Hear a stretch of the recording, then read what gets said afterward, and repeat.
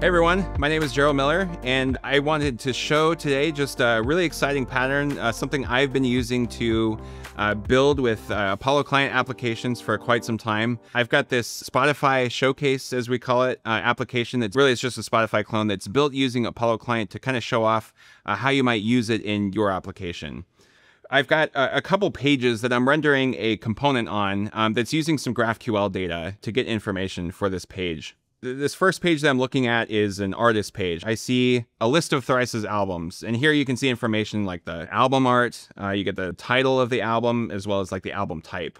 We've got another page here as well. I've got a, a saved list of albums to my collection. Uh, and if we look here, we see kind of the same component rendered. We've got uh, albums, uh, as we see here. Here's like a single that's, that's saved to my collection. It's driven by the same component in the application. Uh, let's let's switch over to the code and kind of see what this looks like. So here is my album tile. As you can see, I'm getting my album from props and I'm rendering some data for it. So like the ID, you see I've got an image in here, uh, the name and the album type. And I want to spruce up this album tile just a little bit. I would really like to know what year it came out. It's, you know, sometimes it's useful to know, is this album recent? Is it sometime from the past? I want to be able to provide that information just at a glance here. So what what's kind of the, the workflow uh, if I needed to do this? Well, first of all, I need to figure out what query is executing this so I can go and uh, and add this to it. So I might execute like a search for, in this case, we'll say album tile, like what's rendering album tile. Um, I see here like I get it imported from routes artist, so perhaps I will uh, open that page. And sure enough, here is my album tile and the, the album I'm passing it in. Now, hopefully this this uh, this file has a GraphQL query. Let's let's scroll up a little bit in here. And sure enough, okay, great. Uh, I've got a GraphQL query in here.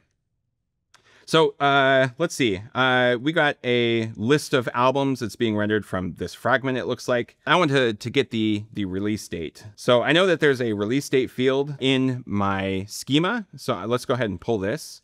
Uh, I'm just going to save it for now. Uh, let's refresh, make sure I didn't break something here. Uh, and okay, great. It's still rendering. We're okay.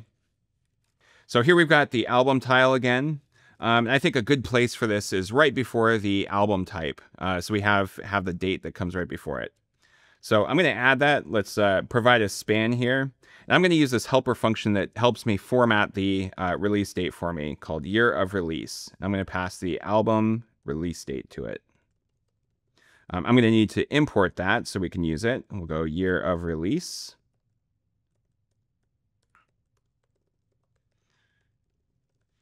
Let's save that and take a look at our interface.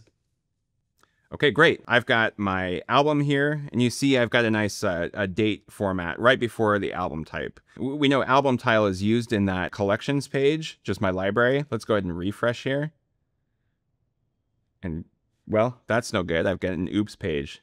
Let me open up my console and just see here and kind of figure out what's going on. We see like cannot read properties of undefined uh, reading date. So uh, what happened? Well, we're rendering this page in more than one place, but we only changed a single query, which means that like I'm using some information here that I forgot to add on another page. And not only that, but I only know of these two pages, there could be other places in my application where album tile might be used. And you can imagine with every single change to album tile, if this were to change again, I'd need to go and find every single query uh, to add this information to. Otherwise, you end up with uh, potentially uh, breakages like this one. But let's see if we can do a little bit better.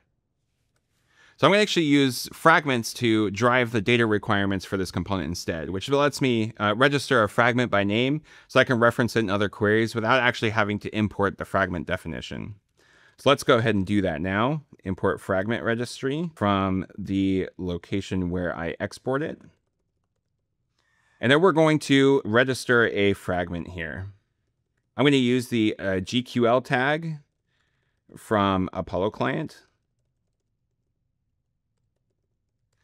And let's uh, let's define a fragment. So fragment, we'll call this album tile underscore album. I tend to like the naming convention where you have a component name underscore prop name uh, on album.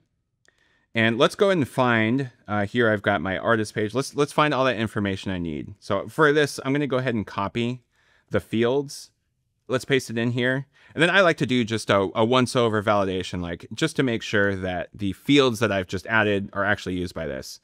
We can see here, we've got ID that matches to ID here. Uh, we've got images that I'm using down here, uh, name here, uh, release date, and album type.